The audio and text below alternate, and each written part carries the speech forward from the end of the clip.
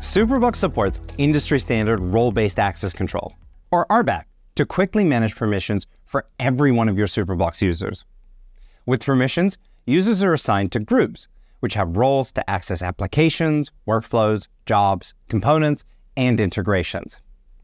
Each role is permitted to perform a set of actions, such as view, clone, delete, deploy, and more.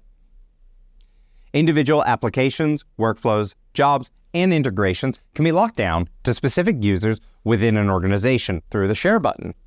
Users can be granted build or view permissions.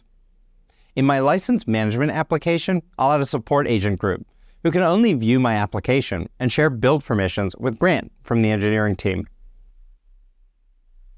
Permissions can also be set directly per user or group on the bottom of the API configuration tab. I'll add my coworker CJ, who can specifically execute the update a license backend API function. You can lock down apps to only those users with whom you wish to share the application.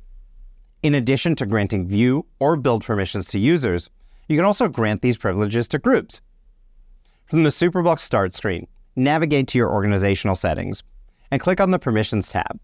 In this page, we're able to centrally manage roles and permissions for all users and groups. Let's start with the Groups tab. Users can be assigned to groups which have roles to access applications, workflows, jobs, and integrations. Groups are configured on the Permissions page. The default groups are all users and admins. The admin group has access to all Superblocks entities inside your organization. Apart from the default group, users can also create custom groups like the support or engineering teams. I'll create an engineering group and add Grant to the group. I'll navigate to the Apps, Workflows, and Jobs tab to enable build permissions for my coworkers for the relevant applications. In the Integrations tab, I'll only allow my engineering team to configure integrations that they manage, although I'll permit them to build with a few additional APIs. That way, if they need to update an API key or credentials for a service they're running, they'll be able to do so, but otherwise, they won't be able to view configurations that are out of their scope.